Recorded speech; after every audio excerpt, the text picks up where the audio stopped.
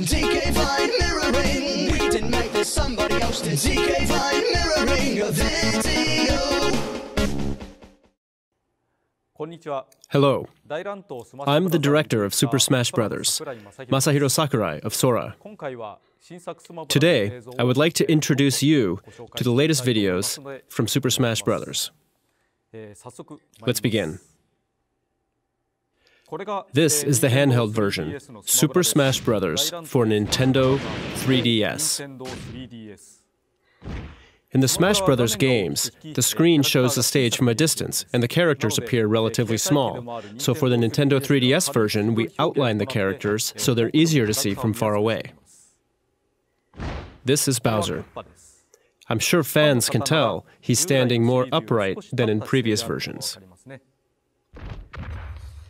His running speed and attacks have been adjusted, so he's a pretty powerful character.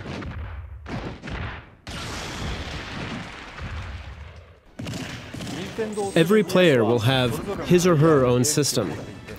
This aspect is unique to this version, so I'm thinking of ways to use that to the game's advantage. The total number of characters is the same as the Wii U version, but some of the stages will be completely different.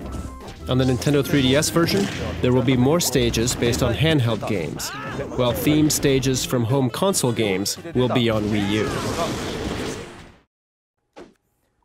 Moving on to the home console, here's Super Smash Bros. for Wii U. Compared to Super Smash Bros. Brawl, the colors lean a bit more towards primary colors. It's in HD, so it looks great even from far away. We added visual effects as if attacks are cutting through the air to further highlight the quick movements.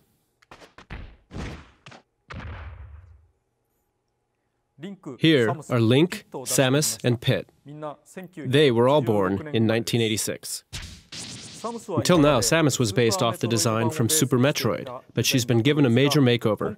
Her design's now closer to that of Metroid Other M. We didn't just copy her over.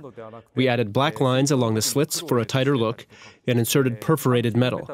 She's much more powered up visual wise. Pit is now the Kid Icarus Uprising version and has a few new moves. For example, this is the upper dash arm. He also can use the Guardian Orbitars. Now, here's a new character. At last, the long awaited villager from Animal Crossing. Since the game he's from is about collecting, he uses many things a sapling, umbrella, slingshot, um, and also fireworks. He can even pull weeds. He can use combos like shoveling the ground and then attacking with a bowling ball. And just like in his game, he's prone to pick up anything, like Mario's fireball.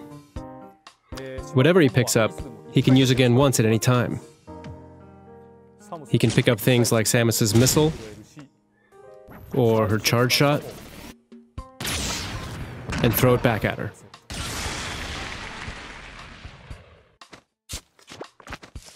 I hope you look forward to the villager's appearance. And now, Mega Man joins the battle. Maintaining his NES look was a top priority. I'm not going to have just any character participate from other companies, but he's definitely in a class of his own. The Mega Man in Smash Bros. doesn't punch or kick a lot. The only real punch is the Mega Upper. Used in Marvel vs. Capcom, it's like a Shoryuken. Instead, he'll use the Mega Buster, his normal move. He can use it while walking and jumping.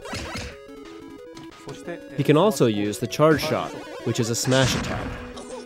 The more you charge, the stronger it gets, of course. His sliding and rush coil are other mobile attacks.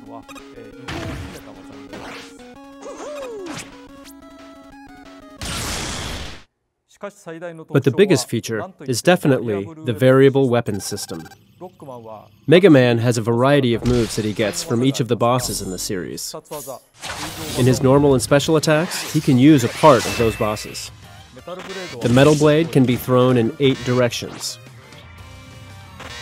You can also pick it up as an item. The Crash Bomber is a time bomb that can be attached to fighters. An item called a Gooey Bomb appeared in the previous version, and just like that, you can attach it to an opponent. The top spin is a spinning attack.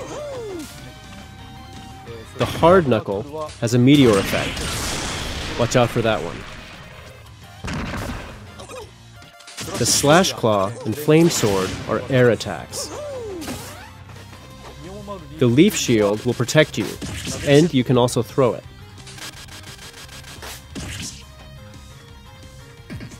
The Spark Shock and Flame Blast will morph his hands to the Mega Buster, but he needs to vent it out, since he will overheat when he uses both hands. He's turning out to be one of the more unique characters in Smash Bros.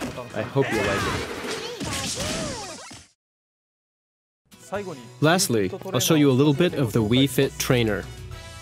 I get a lot of new character requests from all over the world, and they're quite an array of Nintendo characters, but I can say pretty much no one imagined this character would join the battle. This is the Wii Fit Trainer. She's a health nut and moves with grace. Her basic moves are based off of her fitness exercises, and she uses various moves that she thinks will contribute to her health. During battle, she may also give herself some health tips. New characters have a final smash too. The Wii Fit trainer's final move is called Wii Fit. I hope you look forward to seeing more of the unusual healthy fighter, the Wii Fit trainer. At last, I was able to talk a bit about the latest Smash Brothers, but we've only scratched the surface, so I hope to talk more about it soon. Every day during our lunch break, I find myself playing in four player matches using the new characters. I can do whatever I want during my lunch break, but I can't help playing. I'd like to end with a notification.